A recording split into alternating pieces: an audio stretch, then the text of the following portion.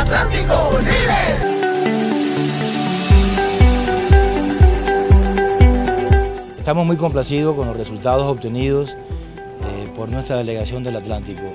Recordemos que pasamos de un lugar número 15 en los pasados Juegos Nacionales 2015 y de, al lugar número 6 en este año y de obtener cuatro medallas de oro a obtener 16 medallas de oro en este año, pasando de un total de 44 a 52. Esto forma parte de un programa de preparación, lo estamos trabajando con mucho entusiasmo, con mucho compromiso.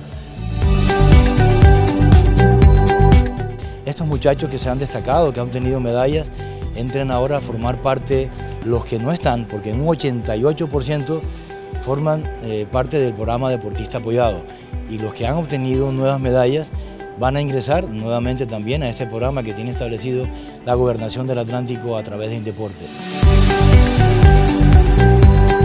Me fue muy bien, gané tres medallas de oro.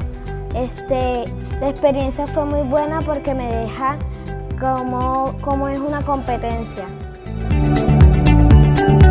Nos dieron uniforme, nos apoyaron durante el viaje, estuvieron muy pendientes de nosotros. La participación en los Juegos Superates fue algo muy chévere porque son mis primeros juegos y poder ganar la medalla de me hace muy feliz.